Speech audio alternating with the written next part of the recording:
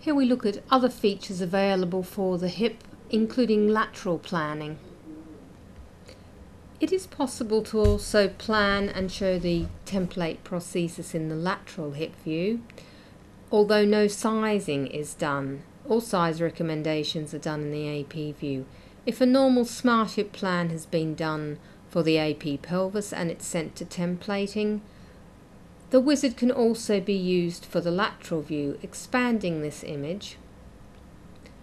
We use the hip joint ML or LM wizard this image has been specified as an ML.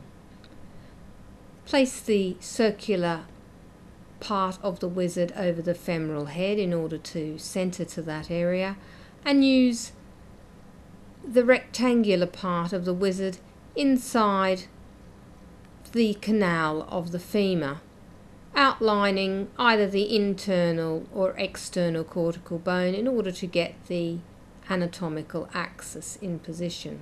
Square handles control the end bars. Then send that image to templating also. Once in templating, the recommended size in the lateral view is shown within the canal and can be viewed for fit. Both images can be viewed at the same time and any size changes made will affect both images. In addition to the Smart Hip Wizard already seen in AP images, we also have trans-ischial line and hip joint AP. If we turn off the Smart Hip, they will naturally take the positions already identified, but these can be positioned independently. So first trans-ischial line for measuring any leg length difference, and also hip joint AP wizard, which is also referencing from the Smart Hip, but can again be positioned independently.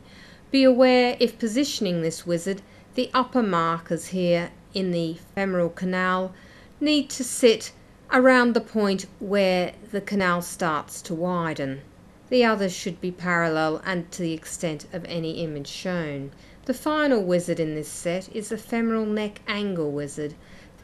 This doesn't measure prosthesis size and its position is being referenced off the smart hip wizard position.